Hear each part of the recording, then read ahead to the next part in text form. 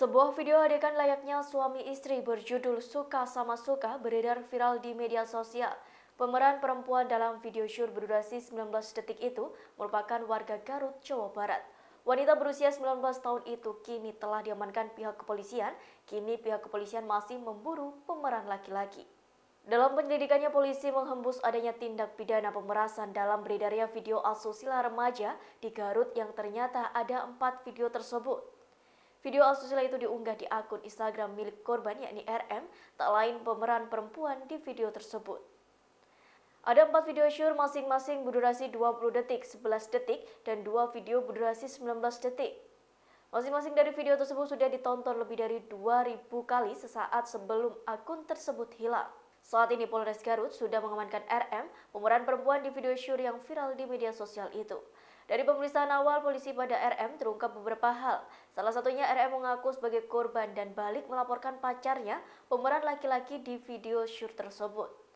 Hal ini lantaran RM mengaku diperas oleh kekasihnya sendiri. Sementara itu pemeran laki-laki dalam video tersebut yang diduga juga merupakan kekasih RM kini sedang diburu oleh pihak kepolisian.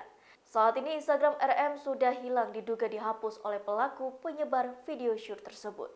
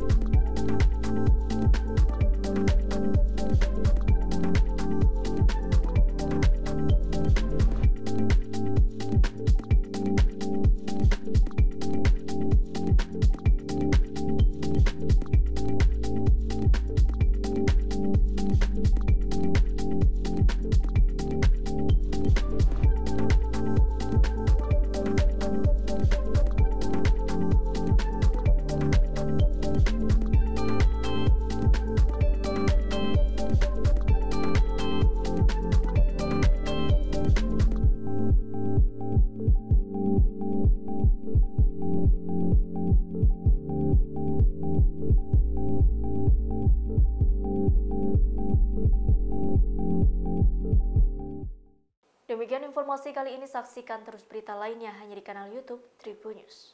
Terima kasih sudah nonton. Jangan lupa like, subscribe, dan share ya.